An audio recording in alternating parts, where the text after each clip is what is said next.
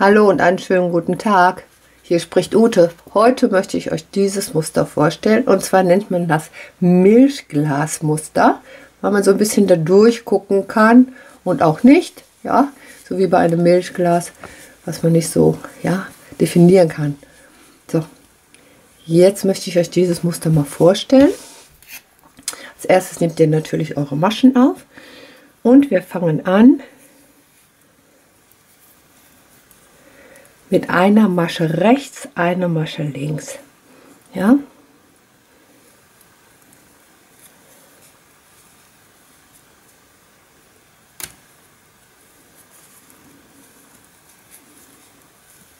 So, eine Masche rechts, eine Masche links, eine, Rech eine links, eine rechts, eine links, eine rechts, eine links, eine rechte Masche, wieder eine linke Masche und die letzte Masche. Ich stricke die letzte Masche immer mit, aber dafür stricke ich die am Anfang nicht. Ich nehme dann so gesagt die erste Masche nur ab.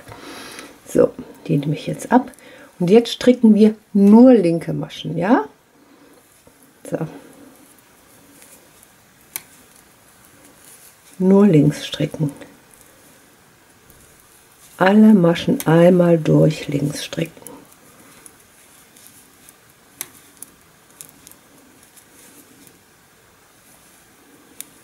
Ja, nur linke Maschen. Da wo die rechte erscheint, auch links stricken. So, nur linke Maschen stricken.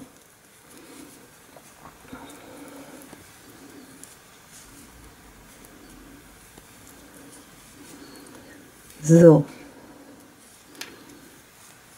Jetzt drehen wir die Arbeit wieder. So sieht es jetzt aus. Jetzt drehen wir die Arbeit wieder. Wir haben jetzt nur linke gestrickt. Jetzt stricken wir wieder eine Reihe rechte und linke Maschen. Ja? Fangen wir an. Rechte Masche, linke Masche, rechte Masche, linke Masche, rechte Masche, linke Masche, rechts, links, rechts, links, rechts, links. So, wir wenden die Arbeit wieder und stricken auf dieser Seite wieder nur linke Maschen. Ja, Jetzt alles nur linke Maschen bitte.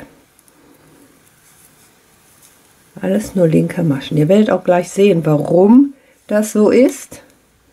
Könnt es euch vielleicht auch schon denken. Diejenigen, die schon ein bisschen länger stricken, können sich denken, warum das so ist. Damit wir auch dieses Muster hinbekommen. So, jetzt nur linke Maschen wieder. Es geht eigentlich immer in zwei Sätzen. Einmal rechts, einmal linke Maschen. Ein, eine Reihe und dann eine Reihe nur linke Maschen. So, wir drehen die Arbeit wieder. So, und jetzt schaut euch das an.